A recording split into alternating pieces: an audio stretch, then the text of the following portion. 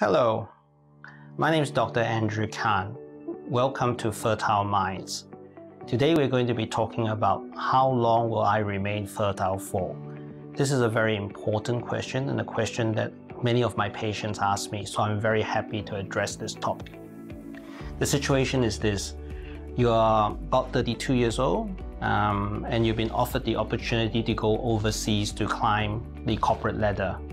So the question you ask is, you know, do I go overseas, come back when I'm 42 and then start planning for a family? Or do I not take up that opportunity and start the family now and hope that, you know, when I come back in three, four years time after I had my first child, I can continue to climb the corporate ladder? So we'll be talking about a situation like that. First thing to say, and the most important thing to say, is that age, the age of the woman is the most important thing that determines fertility. So whether you know age more than how young she looks in terms of gen also genetics, like even if she had a aunt that had her fifth child at 44 years of age, um, how fit she is, all that pales by comparison compared to the age.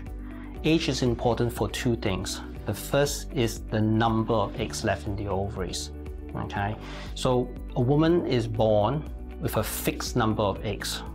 In fact, in fact, the maximum, the peak number of eggs is actually when she's in her mother's womb at seven weeks gestation. That's when it's at 7 million. When she's born, that number drops from 7 million to 2 million. So a drastic drop. And then from the time she's born to when she starts to ovulate, what we call menarche, when she starts to have her first period, the number of eggs left in the ovary is about 250,000. So there's a big drop. Every month you're losing hundreds of eggs in that situation. Once you start to um, ovulate, now although you only ovulate one egg every month, each month you're still losing a few hundred eggs. And so that by the time you reach menopause, which is um, when you stop having periods at the age, average age of 51, you have zero eggs.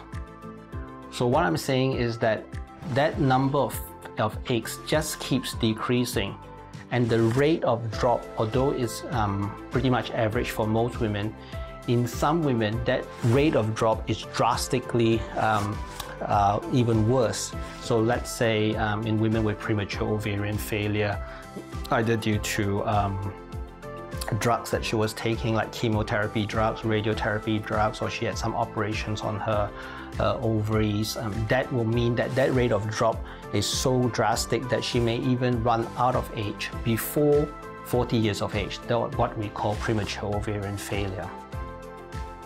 It's not all gloom and doom because we do have a blood test that can tell us the number of eggs left in the ovary. That test you may have heard of is called the anti-Müllerian hormone. The good thing about this test compared to tests that we had before is that number one, it is much more accurate and much more reliable. It can also be taken at any time in your cycle, okay, before food, after food. Basically, you just go to your GP and or your fertility specialist, they write you a referral form. You go to one of our IVF Australia laboratories they do the blood test for you, and that takes about between one and two weeks. And you need to go back to your GP or your fertility specialist for the results because the results are not so straightforward. It's not just about a value. Remember that that normal AMH value keeps dropping as you get older. So you really need to look at that value in terms of your age. The other thing about age is that not only does it determine the number of eggs, it also determines the quality of the eggs. Okay, so sure, um, you know, you're 40 years old um, and the AMH value is very good. That just means that the number of eggs is very good. In fact, in your favor, even though you're 40 years of age. But what doesn't change is that we know that the quality of the eggs decreases as you get older the best eggs, the eggs with the least genetic abnormalities are released when you're younger, in your 20s, in your early 30s. And as you get older, what's left is, although you're still ovulating, the quality of those eggs, the genetically normal eggs are less so that you know you have more problems in terms of when you release those eggs because the eggs are not so good. Fertilization doesn't take place so often and even if fertilization takes place and you get pregnant, you are more likely to miscarry. That is one of the reasons why um, in the old days we used to do tests like amniocentesis um, to check for the chromosome uh, of the babies once a woman gets pregnant after the age of 37 because the older you get, the higher chance you will have a Down syndrome baby. So the not so good news is that we don't have a test like AMH to determine the quality of the eggs. All we can tell, all we can say is, you know, you either start your family as early as possible or you do things that try and um, hopefully keep up the quality. There's not a lot you can do, but certainly, um, you know, stop smoking, drink less, make sure you exercise more, keep an eye on your weight. Those sort of things can also help in terms of the quality of eggs. I guess the really the only thing you can think about doing if you, let's say um, you're not in the situation where you can start a family or you don't want to start a family because you are in that corporate ladder you want to climb it first is consider freezing your eggs okay.